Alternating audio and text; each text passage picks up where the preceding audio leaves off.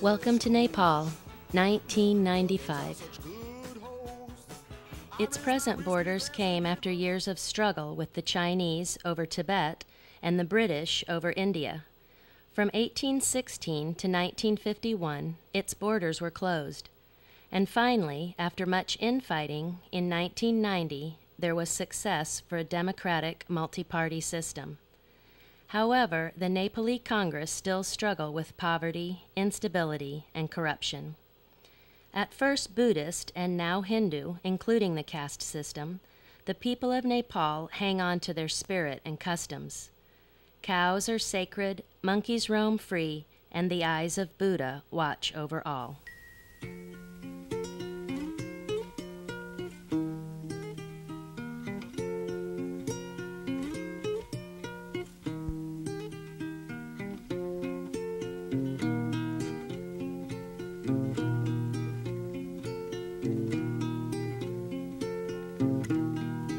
I sit beside the dark beneath the mire, cold, gray, dusty day, the morning lake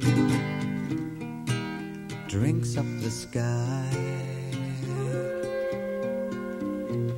Kathmandu, I'll soon be seeing you and your strange, bewildering time will hold me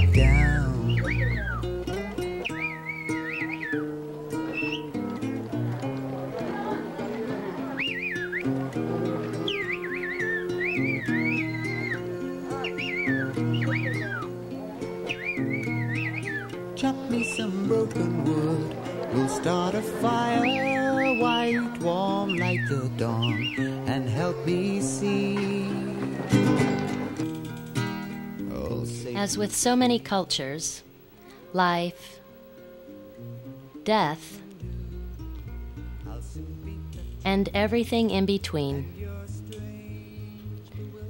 forever flow by the river. So, welcome to Nepal. Relax. Enjoy the lovely people and the wild ride. Vamos a matarnos en esta. And now to India, one of the most diverse and overpopulated countries in the world.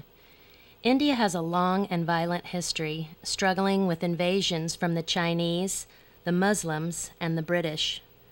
From Asia, Buddhism was introduced, but India has remained predominantly Hindu, again including the caste system, and absorbed the new religion, with Buddha becoming yet another manifestation of Vishnu. The Muslim influence brought, among other things, beautiful architecture, such as the Taj Mahal.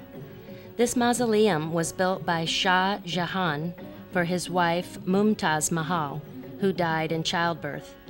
It was started in 1631 and was not completed until 1653. It is said he intended to build a mirror image of the Taj in black marble for himself. Instead, his casket is laid next to his wife. The British arrived, along with the French, Portuguese, and Dutch, for trade starting in the 1600s. The infamous East Indian Trading Company, little by little, moved into politics and governing. Through their long tenure in India, they did at least contribute to the country's infrastructure, including government, rail, and irrigation systems. During this time, English became widely spoken. Indian nationalism continued to grow, and Mohandas Gandhi arrived on the scene in the 1920s. He was later given the title Mahatma, meaning great soul. He and Jawaharlal Nehru used a revolutionary approach of non cooperation and non violence to achieve independence for India in 1947. Sadly, Gandhi was assassinated in 1948 by a Hindu fanatic who disagreed with his desire to eliminate the caste system. Nehru went on to become India's first prime minister until 1964. Indira Gandhi, no relation to the Mahatma, ruled from 1966 to 1977 and was also assassinated. Her son Rajiv was elected in 1984, and he too assassinated in 1989 by the Tamil Tigers of Sri Lanka. Narasimha Rao was governing in the 1990s. India continues to struggle with violence, especially at the borders in Kashmir and Bangladesh, and with poverty and corruption. India is a fascinating country that displays its rich culture through the food, dress, architecture, and especially the dance. Kathakali, which means story play, originates in Kerala and dates back from the 17th century. About 30 plays are still performed and are based on the Indian epics, the Ramayana and the Mahabharata. Using gesture and expression, the dancers dramatize the story while musicians narrate. Traditional performances took hours, but for visitors, shortened versions are done.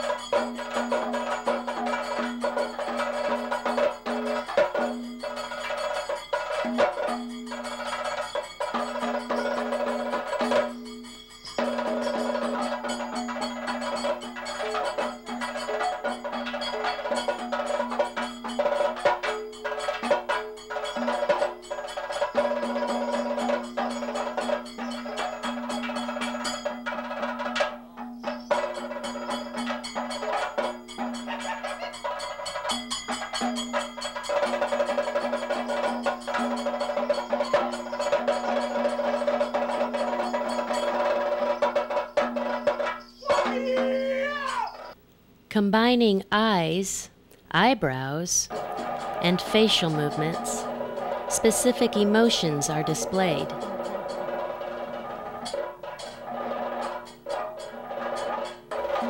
Disgust,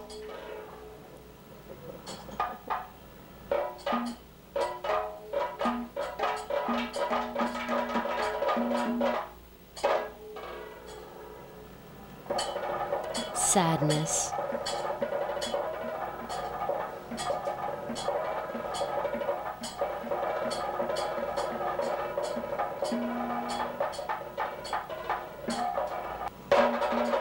Anger.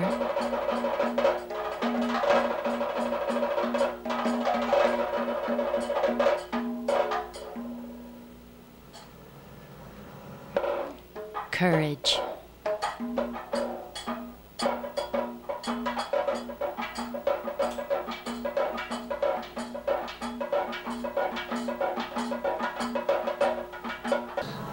We make words and sentences and then we write ideas.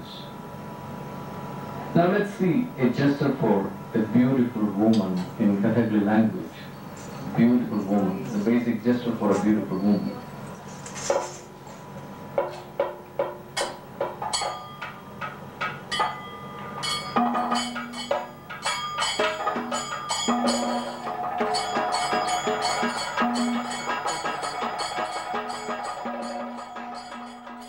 It is the process of applying the makeup, which can take hours, that is one of the most fascinating aspects of this dance style.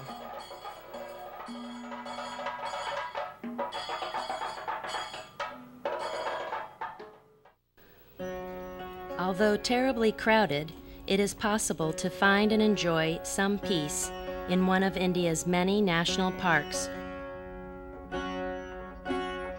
or seaside resorts.